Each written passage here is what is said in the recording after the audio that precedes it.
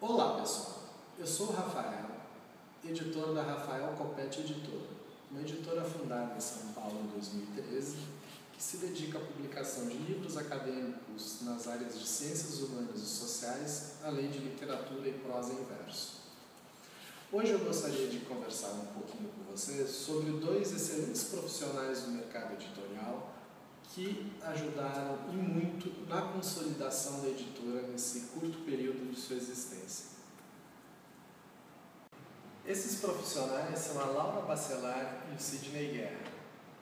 Bom, a Laura eu conheci em 2013 por ocasião de um curso sobre produção editorial que ela ministrou na Universidade do Livro da Unesp em São Paulo.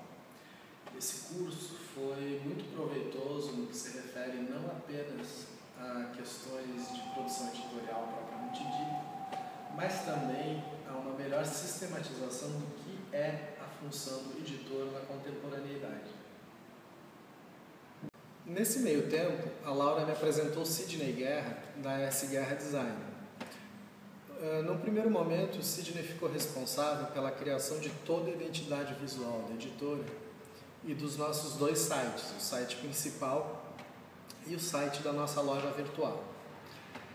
Em paralelo a isso, o Sidney ficou também responsável pelo projeto gráfico e diagramação do nosso primeiro livro, que saiu no finalzinho de 2013 e se chama Abilativo, uma edição bilíngue de um poeta italiano contemporâneo chamado Enrico Testa.